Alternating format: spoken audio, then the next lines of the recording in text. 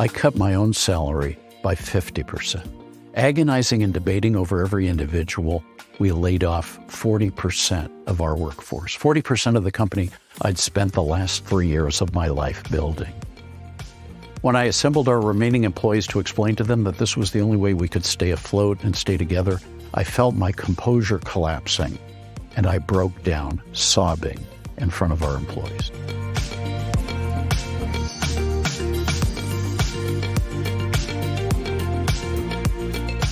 Welcome to Acton Line, a product of the Acton Institute for the Study of Religion and Liberty. I'm Eric Kohn, executive producer. For this episode of Acton Line, we're bringing you a panel discussion from the Grand Rapids edition of the Free Market Roadshow, an event the Acton Institute recently co hosted along with the Austrian Economic Center.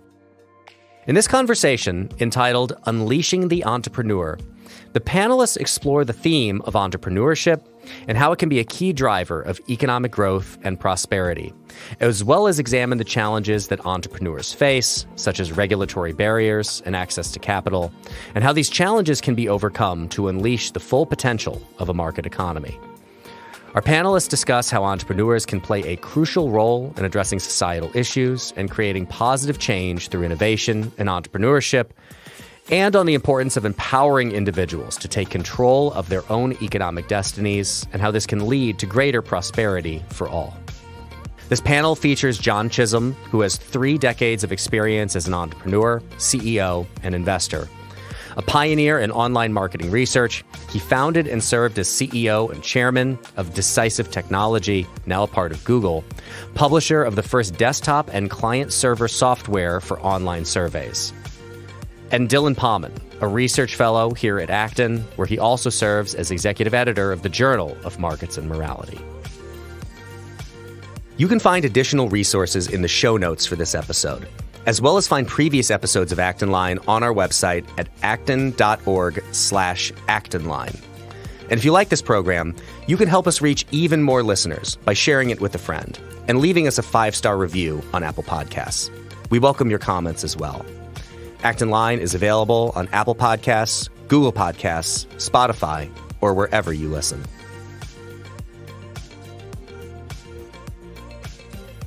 I want to welcome everybody back to uh, Free Market Roadshow here in Grand Rapids. Uh, my name is Eric Kohn. I'm the Director of Marketing and Communications here at the Acton Institute, who's uh, really thrilled to be hosting this event today. Uh, I want to welcome my panelists for the session where we are going to be discussing unleashing the entrepreneur. Uh, I want to remind people that we are taking questions for this over Slido. So if you go to slido.com and you enter uh, FRMS, uh, that'll get you into the queue. Enter your questions there, and I'll be uh, reading through those as we go through the uh, discussion today. Uh, I want to thank both of our panelists as they join us. John Chisholm, uh, who's right here to my right, uh, has three decades of experience as an entrepreneur, CEO, and investor, a pioneer in online marketing research. He founded and served as CEO and chairman of Decisive Technology, now a part of Google, a publisher of the first desktop and client server software for online surveys. Uh, later, he founded and served as CEO chairman of uh, Customer CustomerSat, now part of Confirmit a leading provider in enterprise feedback management. Today, he is CEO of John Chisholm Ventures. How'd you come up with that name? Uh, a startup advisory and angel investing group. Uh, he is past president and chair of the Worldwide MIT Alumni Association, a member of the MIT Corporation Board of Trustees, and a trustee of the Santa Fe Institute. He is the author of Unleash Your Inner Company Use Passion and Perseverance to Build Your Ideal Business. We're also going to uh, give away a free copy of that book, and uh, John will choose one lucky person uh, after the event who will. We already see one enthusiastic hand up. I, Kurt being enthusiastic, that's entirely new to me. Um, he also holds a BS and MS degrees in electrical engineering and computer science from MIT and an MBA from Harvard Business School. To his right is my Acton colleague Dylan Pahman, who is the executive editor of the Journal of Markets and Morality and a research fellow here at the Acton Institute. He's the author of the book Foundations of a Free and Virtuous Society, published here by Acton in 2017. And he is a PhD candidate in the Institute for Theology and Liberal Arts at St. Mary's University, Twickenham, London. So, welcome to both of them. John, I want to start with you. Uh, so our subject is unleashing the entrepreneur, and you know I read through your bio here. You, you sound like an entrepreneur who has been unleashed. Uh, walk us through your personal experience, um, your entrepreneurial endeavors, and the characteristics, kind of both that are innate and that you develop over time to really engage in, in entrepreneurship. Well, uh, first of all, Eric, thanks so much for having me. It's a thrill to be here at Acton.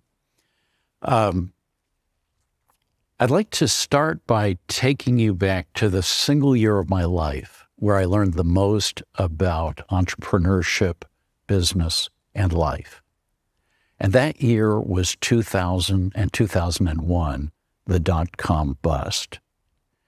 Now, just to refresh your memory, the internet first became commercially available and productized in the 1990s. Billions of dollars were invested and overinvested uh, commercializing the internet. Companies like Amazon, eBay, Google, all, were uh, started during that time. And that huge overinvestment peaked in 1999 and collapsed in 2000 and 2001, the dot com bust, when tens of thousands of uh, internet companies started going out of business. At that time, I was running my second company, CustomerSat, we did online customer satisfaction measurement. Started the company in 97. We grew rapidly and had healthy growth for the first three years. But in the first quarter of 2001, I would often wake up in sweat soaked sheets sticking to my skin at two in the morning. Our second round of financing, our Series B round, refused to close despite a flurry of meetings with investors as we ran out of cash. Those nights I would get up, shower off the sweat, and try to get back to sleep. When my management team and I finally realized that our Series B round was not going to close, we huddled to figure out what to do. First, we cut our own salaries and those a few weeks later of all of our employees by 10%. I cut my own salary by 50%. Agonizing and debating over every individual, we laid off 40% of our workforce, 40% of the company I'd spent the last three years of my life building. When I assembled our remaining employees to explain to them that this was the only way we could stay afloat and stay together, I felt my composure collapsing and I broke down, sobbing, in front of our employees. They stood there stunned, sympathetic, and embarrassed that their CEO was crying in front of them. That First quarter of 2001, our revenues fell by 20%, a lot for a recurring revenue software as a service business. To help us get through, one of our investors lent me $300,000 for the company, but not to the company, but for me to pass through to the company, meaning that I would be personally liable for repaying that loan. Later, I would repay that investor, to whom, despite the arrangement, I was deeply grateful, by mortgaging the townhouse that I lived in in Menlo Park, California. Uh, to save on rent, we consolidated in the less attractive second floor of our building to and rented out the first floor to another company. That company, another startup, came in, uh, quit paying us rent after about 60 days, came in late one weekend night, cleared out all their belongings, and disappeared without a trace. To help make payroll, we factored receivables. That is, we sold our future receivables for a 20% discount for cash today, an expensive maneuver you don't want to do routinely. I, I dropped my salary to minimum wage, the legal limit. Finally, we could see profitability ahead in the third quarter of 2001. And then, as you know, on September 11th, terrorists attacked the World Trade Center.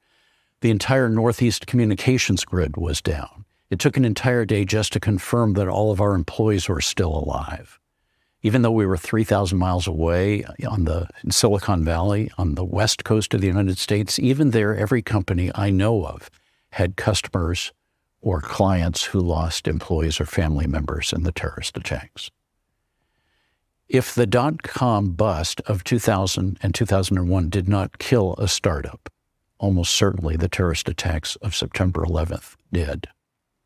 Well, we did not make a profit in that first quarter of 2000 in that third quarter of 2001. We did break even in the fourth quarter. Uh, the going kept tough for the next 18 months. Uh, we didn't hire a single new employee for 18 months, but we made it through, and the company was acquired in the first quarter of 2008.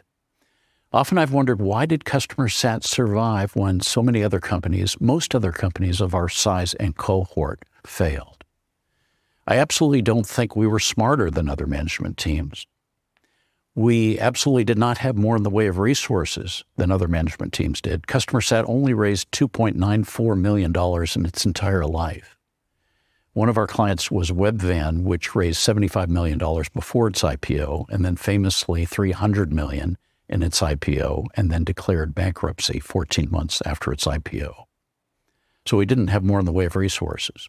If I had to attribute it to just two factors, I would say it was these. Number one, we cared more deeply about our uh, company than other management teams did, about all aspects of it, about the coolness of our products, our relationships with our customers, and about each other more than other management teams did. And two, we stuck with it longer.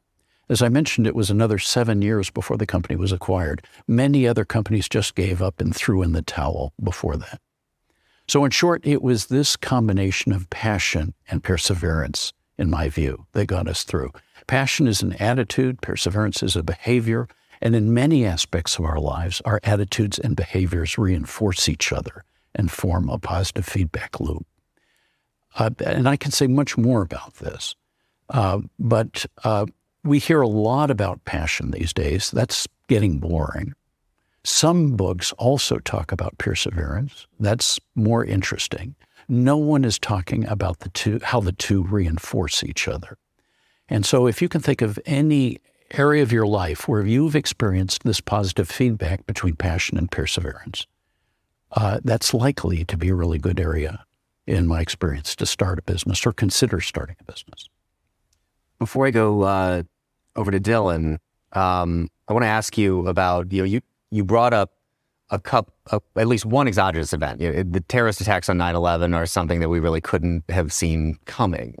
Um, the dot com bubble bursting uh, was another enormous event.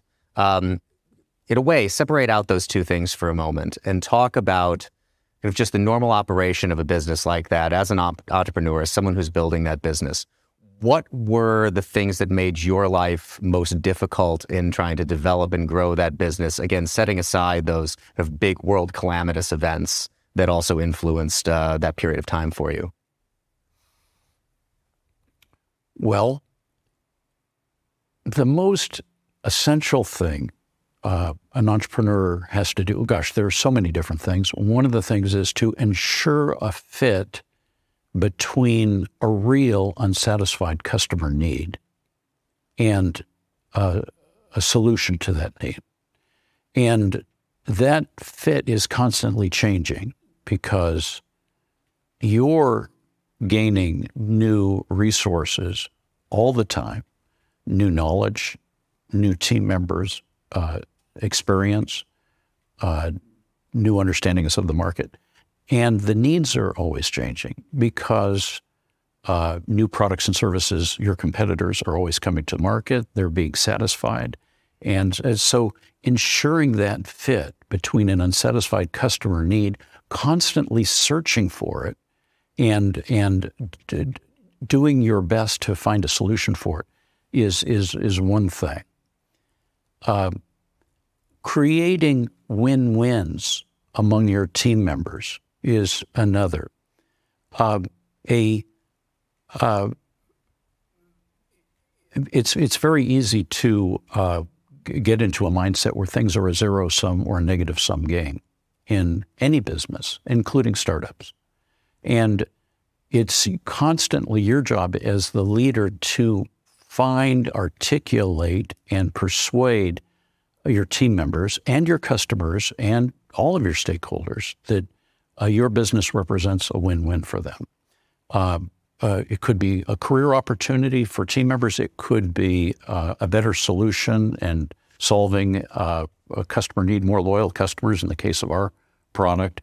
Um, on the part of customers, uh, on the part of, of investors, this is going to be a, a, great opportunity for them.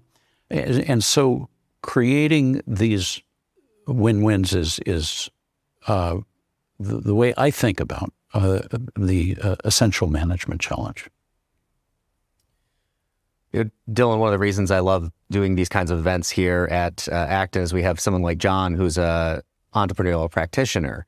Um, and then we can combine that with the work that we do here at the Acton Institute, understanding uh, kind of the, the academic perspective, the fundamentals of all of it. We can answer that uh, age old University of Chicago question of uh, it works in practice, does it work in theory?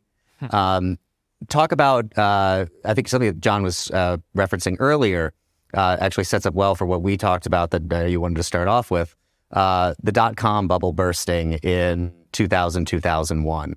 Um, that was an incredibly painful time for a lot of people, a lot of entrepreneurs who had startups uh, lost their businesses. Uh, John, of course, has a great story here about uh, one that survives, but a lot of companies went out of business. Um, you know, talk about the role of uh, that churn in the marketplace uh, and that kind of failure is also being really important part of the entrepreneurial process. Yeah, so I think somewhat counterintuitively, and I, I am an academic, so I do approach this more from a theoretical uh, perspective. Although my my wife is an entrepreneur, but I don't want to draw too much on her her cachet. But uh, um, but I, I, think I think failure is actually the most important thing. If you want to unleash entrepreneurship, it, it it all comes down to your perspective on failure. Um, and and John, that was like the perfect uh, story that you started with because your perspective was very different. You know, the what is perseverance if not learning how to get back up again every time you fail? Um, and so, in a personal, from a personal point of view, uh, if you aspire to be an entrepreneur, um, but you have a fear of failing, you will never try. Or if you define uh, one failure as proof that you will never succeed, you'll never try again. Um, but if you say, "What can I learn from this?" as as John did, you know, that's when you learned the most was when you things times were the hardest. Um, if you you say, "I learned more from failing than success," um, then you're you're going to find those ways. You're going to be looking at the world from a different perspective. So you can put that into the context of a company. Uh, you can fail well or poorly. Um, your business could have failed, right? But because you strive to do so well, because you saw it as a real, you know, a real possibility um, and something that wasn't just personal. You didn't just walk away and say, "Okay, I'm just going to abandon this," you know. Um, but we're going to find ways to to stick it out, and we're going to look at the circumstances around us soberly and you know realistically, you're able to succeed and reinvent the company and keep it going. Um, and we can keep going. You look at markets, look at industries, look at economies. Even um, if we have just uh, a static view on our economy, um, we will put in place every measure we possibly can to prevent failure. So, um, uh, an example of this, uh, we're here in Michigan. Um, uh, big state for the auto industry. At one time, it was incredibly dynamic. Uh, you know, you had Henry Ford in the assembly line. He's trying new things. He's taking these risks, um, and he's able to succeed. Fast forward to the, the 1980s, suddenly we have competition coming from Japan, um, and everyone, um, whether you know the companies, the unions, the cities, state, even um, everyone just had this very static mindset of you know in, De- in Detroit, we make cars. In Flint, we make cars. Um, and they didn't ask, well, what else could our companies be doing? Or how could we be doing this differently? They just tried to set up barriers to other people challenging them. They, they tried to insulate themselves from failure rather than accept it as just part of their, part of the life. That all throughout life, we're going to try things and we're going to fail. Um, and success is more about how do you get back up again? How do you persevere through that failure than never failing at all? Um, uh, you, you don't do amazing things by never failing. You do amazing things by being willing to fail, to, to try that great thing, um, even if failure should come. So that that to me is is from a theoretical point of view uh, a through line, whether it's in a, a, person's personal life, whether we talk about public policy. Um, so uh, in the last panel, Joseph Schumpeter was mentioned, for example. Uh, he talks about this idea of creative destruction that how economies grow is through one market industry or you know uh, business being destroyed because something new and better has come along. So to use automobiles again, when when the automobile became affordable, a lot of blacksmiths went out of business. Um, that's sad for the blacksmith and absolutely should care. And we, we need communities in this country that can prop those up who have been left behind uh, when we have rapid economic change. But by and large, the vast majority of people were leaps and bounds better. They were not just quantitatively better, they were qualitatively better. The quality of their life changed, not just better incomes, that sort of thing. But now you can you can visit family in the next city so much easier. You can ship things across the country so much easier. You know all the all the benefits that came from that. Um, you needed to have a market open. The government could have stepped in and said, "We're not going to let these blacksmiths fail. Instead, we're going to keep the automobile um, from threatening them." And what will we have? Well, nothing like we have today. It doesn't matter how much you improve uh, being a blacksmith. It's never going to compete with the internal combustion engine, right? Um, although we do still measure uh, the power of engines and horsepower. It's a little unfair to the horses, I think. But um, but but you know that's that's kind of a, a, relic of that that initial beginnings of the industry. That this was how far we were outpacing the horse. Um, so you need that everywhere. Uh, if we if we don't have that, then you start to stagnate, and you can even uh, end up with you know uh, regression or depression. Um, so that's the most important thing to me is to to be realistic about failure and to to be able to fail to realize that that the more we try to prevent the little failures in our life rather than accepting them taking them with stride having the the virtue the resilience uh, to get back up again the bigger our failure is going to be when it finally comes. The other side of that failure that you talked about is the rise of a mentality. We certainly heard this back in 2008 with regard to the financial crisis, that we looked at a lot of firms and said, they're too big to fail, uh, that we can't allow this level of failure. What do you think drives that mentality to say, you know, as you pointed out, uh, failure again? We, we got a lot of great Milton Friedman quotes in the last panel. I'll add one now, at least as I uh, as I remember it, that people describe capitalism uh, or markets as a system of profit and loss. And the loss part is just as important, if not more important, than the profit part, because losses are what get of get rid of bad, poorly managed companies. But then in comes this mentality that says, "Oh, we can't let these firms fail. It's too important." What drives that mentality to that wants to prevent that important loss and failure part of it from running its course?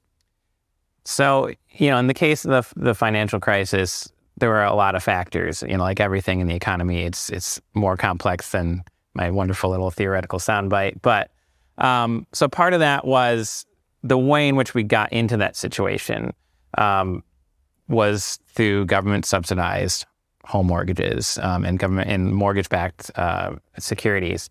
Um, so you you have things already distorted by the government.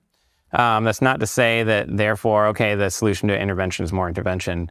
Um, but there is a consideration to be made. I'm not totally defending it because I, I do think, yeah, let things fail if they can fail. But if you're looking at, okay, everything fails and the whole economy collapses, yeah, there is a, a last resort role for the state to sometimes step in. Um, but to me, okay, if in, there's an emergency, there's a crisis, sometimes, yeah, we need state action. But we got to take a step back and say, how do we prevent this from happening again? Um, and how did we get to where we got? um, so that that was the case. Well, if you have just one company, you know, which is not really the case in the financial sector uh, back in 2008, it wasn't like there was one big monopoly, and if it failed, well, then everything went away. So that was not really the case.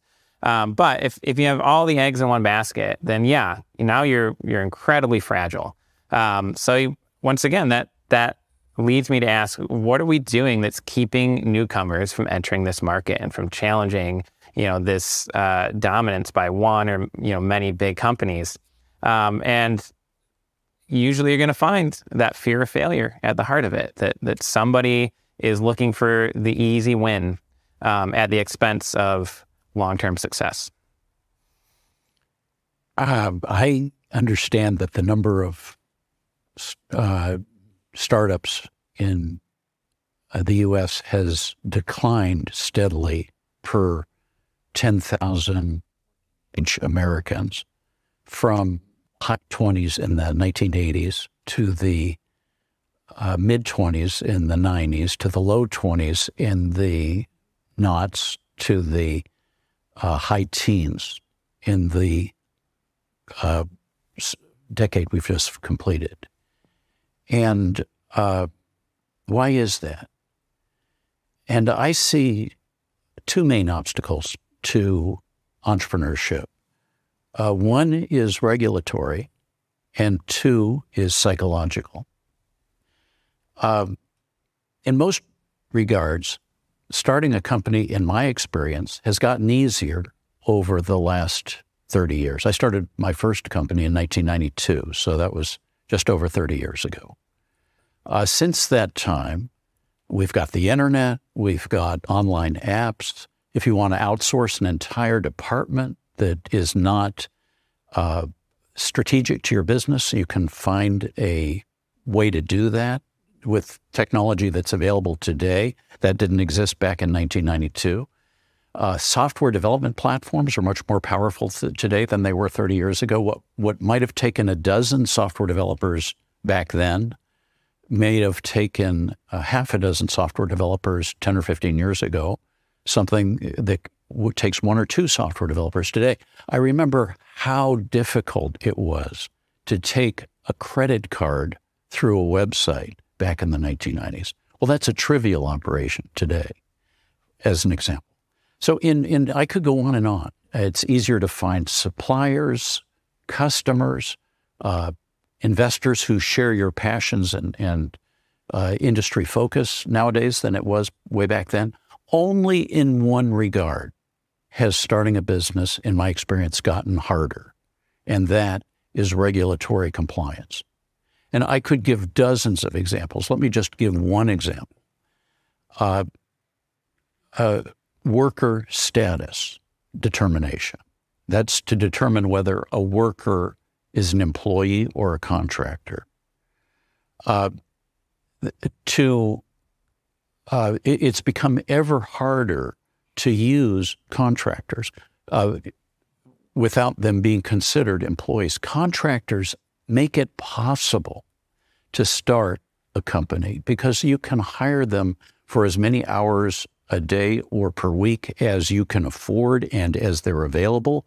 And as your company gains resources and momentum and revenues and so forth, you can gradually bring them on for more and more until you're at a point and they're willing to join you full time as an employee. Nowadays, very often you have to make them an employee from an outset, even if they don't want to be an employee. We see this especially in California, where I'm from, uh, with uh, Assembly Bill 5.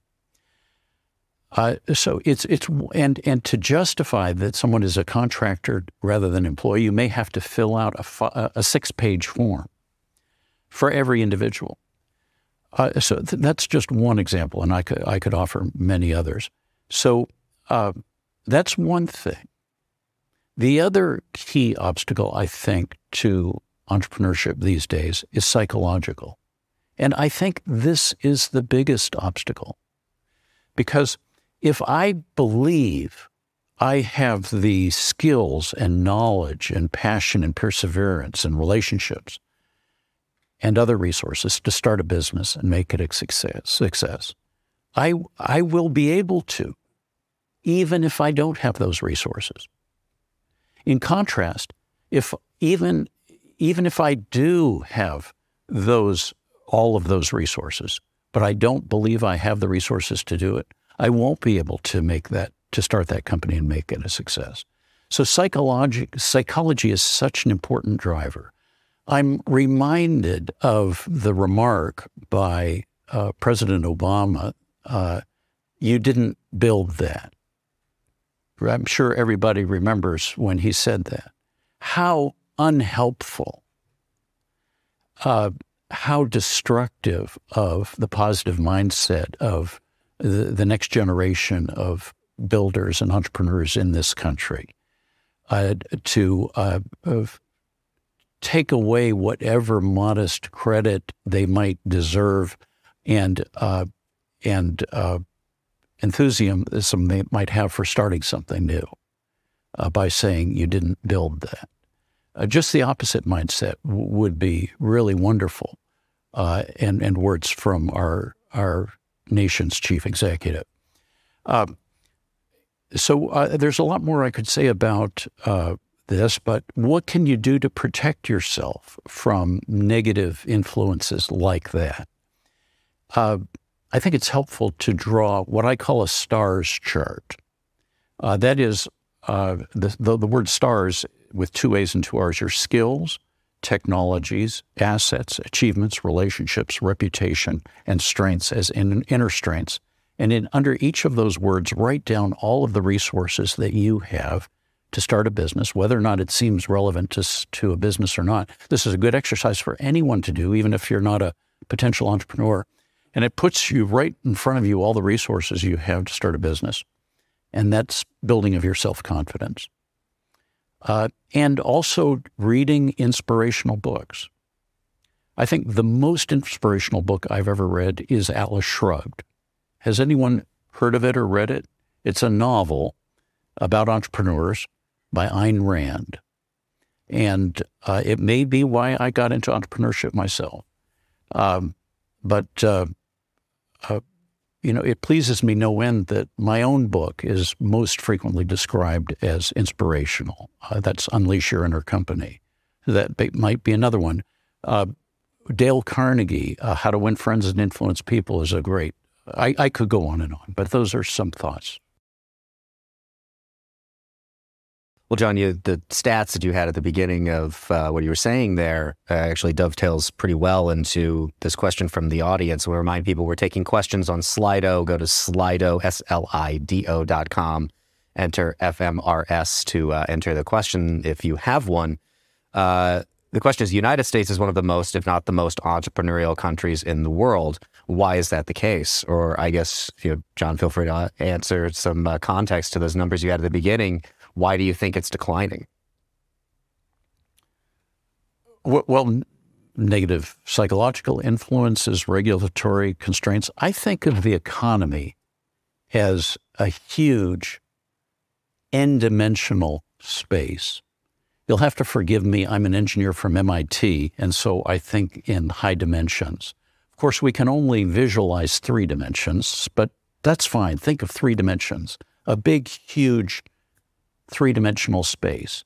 Now a regulation comes along and cuts off half of that space. Okay, there's only half of a space left now for all of us to make a living in and to find a way to solve a customer need in. Another regulation comes along and further cuts that space, and then another, and then another, and all the range of possibilities that that huge high dimensionality space used to represent is is limited down to a narrow box, a narrow cube. Think of what it would be like for organisms, people, animals, people, to be in a tiny little space. They're all competing with each other, aren't they? As opposed to uh, taking advantage of all the possibilities the world has to offer. Uh, so every regulation has the potential to uh, disallow new businesses. Uh, I'm reminded of Bastiat, who wrote a, a book called uh, What is Unseen. And, uh, you know, it's easy to see what may be real benefits of a new regulation, but it's hard to see what new innovation is disallowed because of the regulation. I like the idea of uh, regulation uh, impact assessments being required whenever there is a new regulation. All of us know about environmental impact assessments that are required for a new real estate project. Uh, how about innovation impact assessments that force us to consider and evaluate what are the likely innovations that are being squelched by each new regulation? I, I think it would at least raise sensitivity to the issue. Just uh, to add to that, because I wouldn't disagree at all, uh, there's also this history we have that the United States, from its very beginning, from its founding, is a commercial republic. And you know, we have this idea of an American dream. If you can just make it here, you can make something of yourself. You can have a better life for your children uh, with hard work, with creativity. Um, and that is something that people don't believe anymore, at least not as much anymore. As you know, to get to your point earlier about the psychology of entrepreneurship, um, in many ways, we're living in a nation where that's harder due to regulation, but we're also living at a time where that story is not being told as it used to, um, and where people aren't believing it like they used to. Uh, and so, you know, we still have it. It's still here. Um, if you compare us to other developed nations, we are still one of the most entrepreneurial in the world. Um, but as far as the the decline, I think that's got to be part of the story. Um, that we just don't believe our own story anymore. We don't believe our own principles anymore. Um, and yeah, there are reasons uh, to be pessimistic. If you look at regulation, on the usually that's not the reasons why people are pessimistic. Um, but they, even so, you can still do it. Um, and it's something that we really need to find a way to recapture for next generations. Might not look exactly um, as it did in the past. You know, maybe the same way of telling that story isn't working, but that doesn't mean the story itself has lost its power. Um, and you know, there's institutions in our society. I think one of you know, you mentioned, um, I think it was uh, Friedman or whatever, but just about failure. Yeah, I was talking about that as well. But bankruptcy, bankruptcy is huge. The fact that it's you can take a risk. If if your company goes bankrupt, you don't end up in a debtor's prison, right? Like there there's institutions in our society that also allow that to happen, allow people to take that chance uh, to look around and say, you know, I have something to offer, and I'm gonna I'm gonna give it a shot. Um, but we have to we have to find a way uh, to encourage people. So I mean, maybe that starts on a personal level. Maybe there's creative people in your life. Maybe you are one of those people. Um, so encourage them. At, figure out what you know what is holding them back. What are those barriers? And that's not going to be a, one size fits all answer, right? Um, but help people use the social networks they have. I, I love that idea of like just you know, write out the seven different things and take stock of everything you have going for you. Um, that's something that feels very unnatural for me. I'm a millennial, so I'm not young anymore, but I used to be considered young. Um, that's something that I don't do. Uh, now, I, I guess I have some entrepreneurial side to my my work. I write and I send it out, and half the things I write get rejected. Nobody ever reads them, and so I am taking chances. I am trying to be creative, um, but but that's a step beyond to just sit down and I'm going to take stock of everything I got going for me. Um, that's something that that needs to be taught, um, that needs to be inspired, perhaps. Um, yeah. We go to another question from the audience, uh, provoked by Johnny reference to Atlas Shrugged. Uh, the question is, uh, what does an entrepreneur owe society in return for providing infrastructure and quote the rules of the game?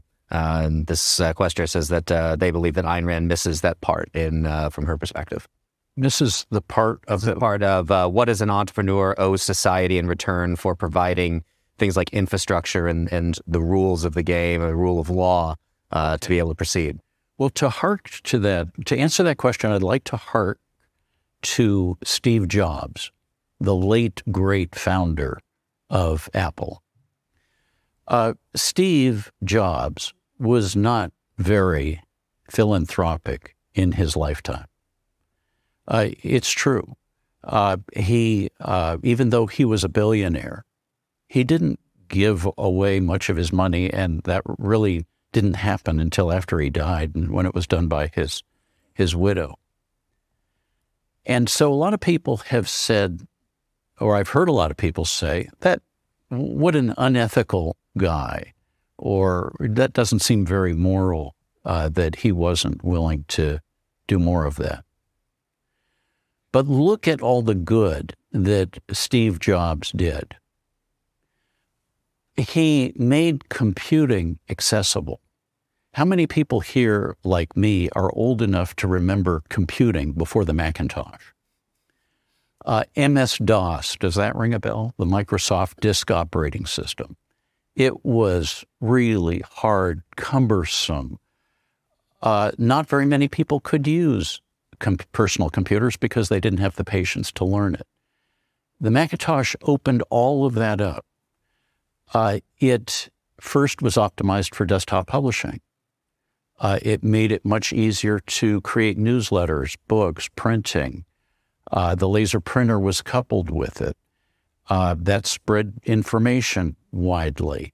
Uh, later, he introduced the iPod, which enabled you to carry a thousand songs around with you on your person, making entertainment readily accessible to people, millions of people, whatever music they might want to listen to through new technologies that they developed or refined, at least, like FaceTime. They allowed people to stay in touch with their loved ones and provided companionship and family connections to people who might otherwise be alone and by themselves.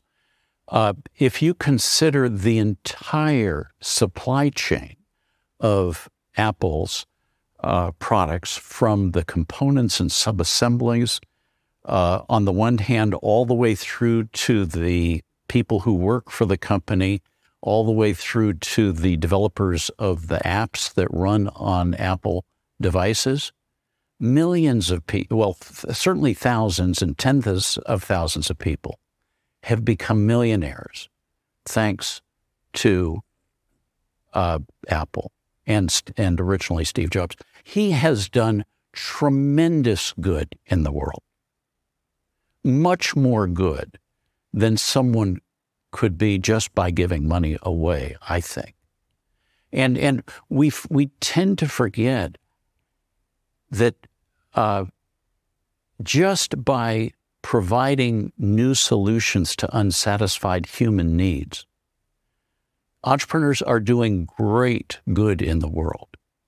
I think overall entrepreneurs are neither more honest or dishonest or uh, considerate of other people's needs uh, uh, or other people's concerns uh, than than others. They're neither better nor worse family men and women than others are, but they do make this unique contribution to the world by finding new solutions to unsatisfied customer needs, and that makes the world a better place. So that is a huge ROI to society uh, in response to this question uh, that I think needs to be factored into the calculus.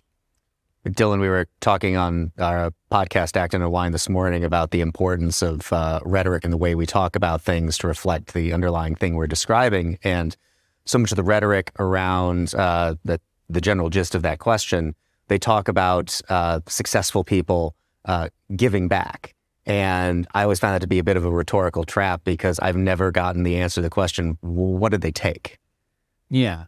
Yeah. I mean, I, I think there's a there's a fundamental. I, I will be clear. I'm I'm probably not as much of an Ayn Rand fan as as John, but um, I will say there, there's an assumption that question that infrastructure and rule of law are some kind of gracious gifts given by the government. In fact, they are moral duties the government has to provide for every citizen of the nation. That's not something you say, well, what are you going to give me in exchange for this? Right? That would be incredibly immoral. That's how you have an incredibly corrupt government saying, well, we're not going to be fair to you in the courts. Uh, we're not going to repair your roads or your sewer system unless you're giving something to us. Um, so that is just, to me, uh, an incredibly um, uh, mistaken way to conceive of what's going on. Um, but that said, there are all kinds of ways. And I, I think that John highlighted the most important one. Business is a, a social good. Uh, there's all kinds of ways in which business is a social good. Um, but that said, like businesses do pay taxes. There, there are all kinds of ways businesses are currently giving back. Um, so I'm not really, I never quite understand the question either because I don't know if it presumes that someone took, but it at least presumes that they were given something, uh, somewhat specially, when in fact, uh, a government that isn't giving infrastructure and rule of law to every citizen is merely failing in its most fundamental moral obligation. That's it's not that oh they've given some people a gift and not other people. Uh, well, if that's what's happening, then it's an incredibly corrupt government that we're talking about. Um, and actually, uh, providing rule of law is not by any means the most expensive part of government.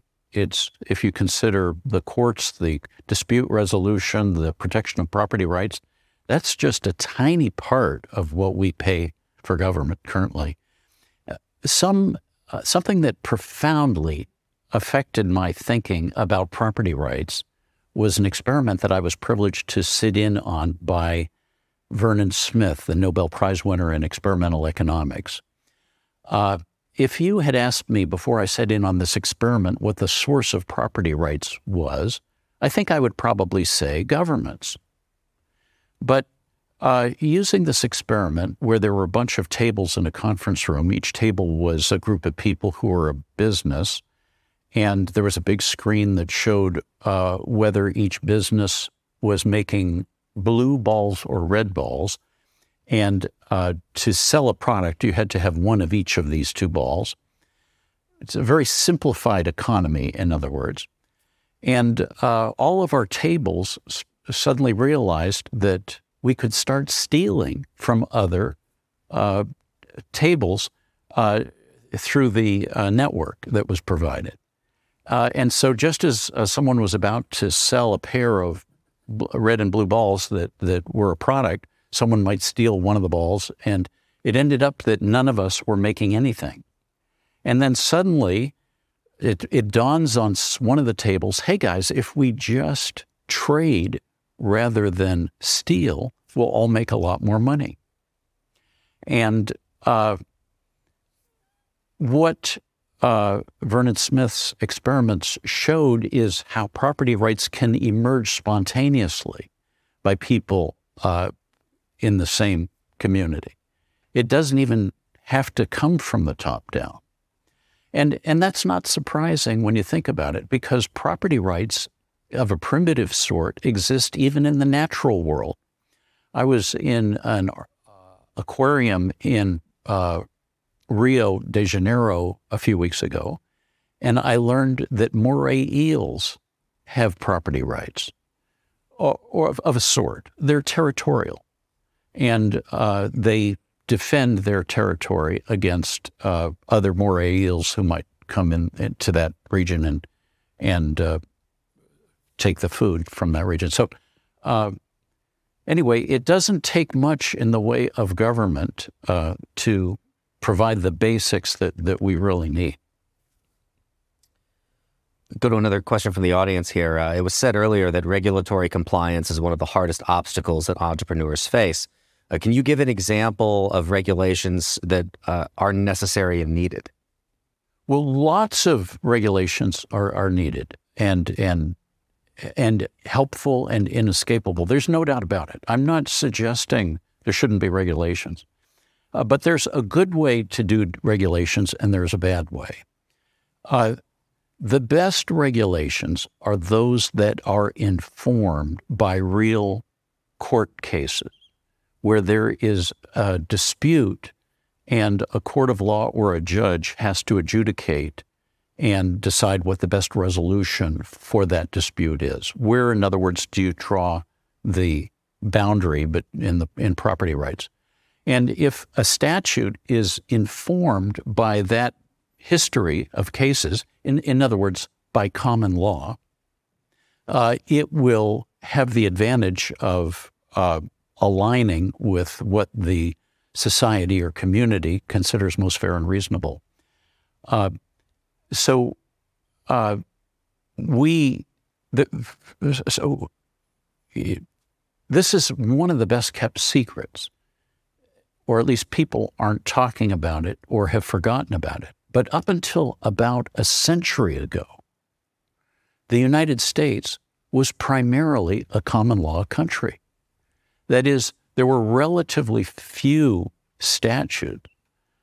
Uh, there were most of the law was uh, determined by courts of law, judges, juries deciding what the best resolution. And one of the beautiful things about common law is it gives the judge the flexibility to find the optimal resolution between two uh, litigants. And so it's a learning process. If the litigants suggest a solution that they both consider ideal for both of them, it's unlikely that the judge is going to overturn that. And so uh, it's Im- also implicitly a uh, sort of consensus oriented legal regime. We have veered so far away from that over the last century that uh, people have almost forgotten about it. In fact, law schools nowadays just teach common law sort of as incidental rather than foundational. That's too bad, it seems to me, because it should be the foundation of law. It's emergent, organic, rather than imposed from the top down, as statutes are. Dylan, I think there's an important point here as well about the word we're talking about regulate, to make regular. Um, I think so much of what we talk about in terms of regulation, though, isn't making things regular across all actors in a marketplace. It is making things quite irregular by picking and privileging certain firms or certain entities who have the ability to lobby politicians in order to get what they want. Yeah. So the the German economist uh, Walter Eucken, uh, who along with uh, Wilhelm Röpke and Lud- Ludwig Erhard were kind of the architects of the West German economic miracle, their recovery after World War II and um, you know, Nazi Party, and before that, uh, during the Great Depression, just, they tried every terrible economic policy you can think of in Germany. Um, one of the things he said that's always stuck with me is regulation of market structures, yes. Regulation of market processes, no. His point being that if your under your philosophy of regulation is we got to go in and we got to set the prices because we don't trust the market actors to do that, or we got to subsidize various industries or companies because we don't trust people to be able to to start up um, on their own or to compete uh, with whether foreign or domestic competitors or so on and so forth. Um, when you do that, it just distorts everything that's just normal about human beings producing things out of their own creativity to serve the needs of other human beings and exchanging in a marketplace. Um, regulating market structures is about that market openness uh, that you need, the openness for newcomers, which means that openness to, yeah, some people aren't always going to be successful. Some businesses, uh, you know, they start up, they don't succeed. Sometimes they're around for a little bit, then they fail. Sometimes they sell out to something else. Sometimes they become really big uh, and things go great. And then another industry comes along and completely displaces it. Um, that's all normal. And that's, if you let that happen, uh, it's, you know, counterintuitively, this great, great benefit for, for everyone involved. So on the government side, I would say that's the good kind of regulation. It's regulation that keeps markets open, um, that, that where equality before the law, rule of law, is really the standard. Um, but that's not the only way to regulate a market, and this doesn't get talked about enough. That on the private side, there are all sorts of ways that you can regulate markets. So if you're concerned about, you know, so for example, and, and, and this is this comes up a lot, but I still think it's a great example. I believe in all 50 states and the District of Columbia, you have to have a government permit in order to be a hairdresser. Right? You have to get the permission of the, the government in whatever jurisdiction you're in in order to be a hairstylist or to, to be a barber, that sort of thing. Um, and that's it's the sort of thing that should be the easiest thing for any any person in their home to say, I want to, you know, get some extra income. I want to maybe try this out. It should be easy, but instead they find themselves in the black market because they can't afford the, you know, year and a half, three thousand dollars of training they need to actually qualify for this certification. Um, but if you are concerned about whatever governments may be concerned about with with hairdressers, I heard recently an outbreak of ringworm among barbers. So I guess maybe there could be some health uh, concerns or whatever. Um, but a lot of that gets solved, A, first of all, through competition. So if you go to your barber and you get ringworm, you're probably not going to that barber again, right? Um, but secondly, um, you can easily have people come together, as happens in, in many industries, where people come together and they don't have the force of the law to require every newcomer to to sign on with their certification, but they within their profession can certify that you know this is you know the the American Barbers Association certified you know barbershop, right? So there's a, a standard of quality that people have to meet if they want to join, but they can still start up on their own without that. Um, that's a way to regulate a market. It, it's a signal for buyers when when they're going to find a product they say, oh, you know, I trust the American Barbers Association or whatever made up, uh, you know, board we want to we want to think of. Um, that that signals to me that yeah, that's what I want. Other people, they'd say, oh, no, you know, my friend down the street, he can cut my hair better, you know, whatever. People still do it in their home. But, um, but again, it should be something that is a stepping stone to something greater instead of, you know, something that you can only kind of do in this, this really black market way these days. So uh, that's just a tiny example, but I think that's worth thinking about that there's not enough creative entrepreneurial thinking when it comes to regulation. If we care about the environment, we care about health, um, all those sorts of things, our first and only answer does not have to be the state. Yeah, I think uh, this is a case where I don't quite realize my own privilege in some of these things because I have yet to meet the barber who can screw up my haircut. So whether they're certified or not, I don't know that it matters. John, you had something you wanted to add. So here are some thoughts for sound regulatory design. The most important principle is that things can evolve, that regulations can evolve with society, the economy, and technology. So uh, when there's an issue or a problem, of course, our natural first reaction is there's got to be a law, there's got to be a regulation. No, push back on that. That should not be our first natural impulse, although it usually is. What should be the first natural impulse was if you two folks can't resolve the issue yourselves, then uh, take it to a court of law and let the judge or, if appropriate, jury decide uh, what the best resolution is for that concern. Uh, after we have a number of those cases, so we can see a clear pattern in how they're being resolved in that jurisdiction in that society. Great. Then we that builds our confidence that we can make a rule, a statute, if there's a consistent pattern there. If not, then we might want to wait until we see a consistent pattern. Or if there are two distinct cases, maybe we reflect those distinct cases in a statute.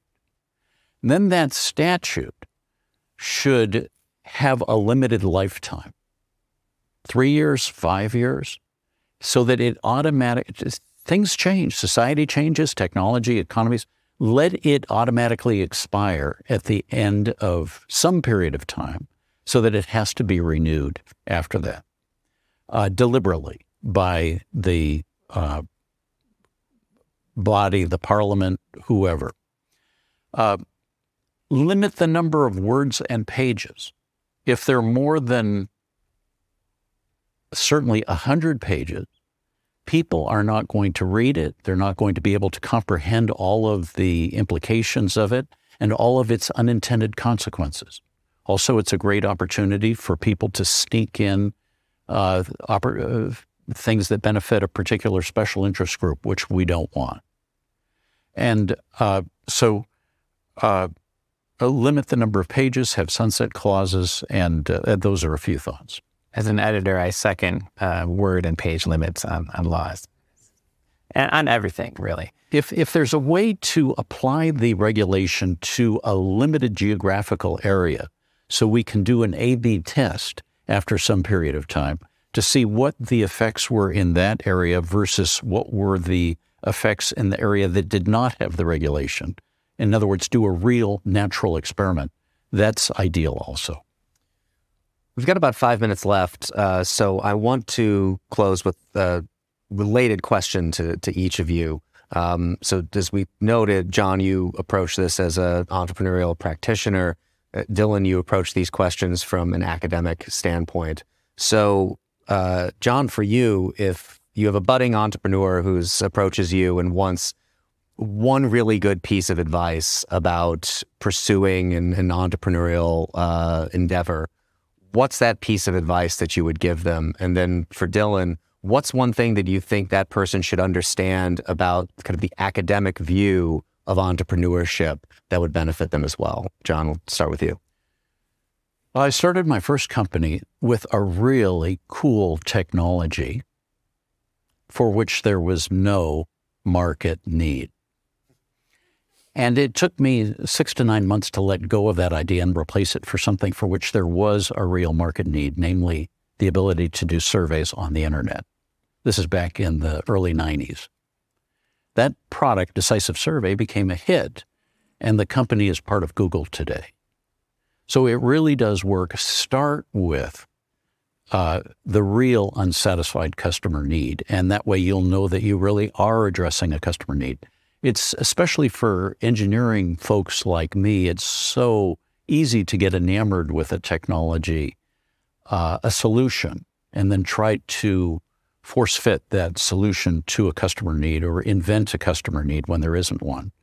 Start with a customer need, and you may find that it doesn't even need that cool technology that you had in mind. There might be a much easier, direct way, more direct way to address it. So, theorists study entrepreneurship because they are not good at doing it. Because if you could, if you could start a business and be successful, um, you would do that instead of studying how people do it. Um, so I, I, I would say start by saying that the people who study entrepreneurship uh, are doing so more for the non-entrepreneurs, and that's very important. Actually, it gets into everything we've been talking about in terms of uh, you know the structure of a market, what opportunities are available, what regulations are there, what barriers are in the way. Um, and having that understanding for the general public and especially for policymakers is incredibly important. So there, there's a role to play there. Um, that said, uh, now I will borrow from my wife. Uh, she every time she meets an economist, uh, she says, "What is the one thing that you wished uh, entrepreneurs knew about economics?" Um, and the best answer uh, she got, actually, from my PhD supervisor, uh, Philip Booth, was about reducing transaction costs. Um, and John already mentioned this in terms of the changes in operation systems from DOS to to the Macintosh um, and then to Windows and that sort of thing. And we, you know, we could get into all sorts of um, areas in which that applies. But anyway, you can do things in a more efficient manner. You know, or you mentioned uh, contractors, how they allow you to really outsource whole portions of a business nowadays. They, they make they've made entrepreneurship easier. Um, so ways in which you can reduce those transaction costs make you know your good idea that seemed impossible now suddenly possible. As always, thank you for listening. Our team loves putting this podcast together for you. It's encouraging to hear from our listeners. Feedback is incredibly important to us because it lets us know what you'd like to hear more of, including the kinds of topics you're interested in most. If you have comments, feedback, or ideas for a show topic or interesting guest, you can email our team at producer at acton.org. Until next week, for Acton Line, I'm Eric Kohn.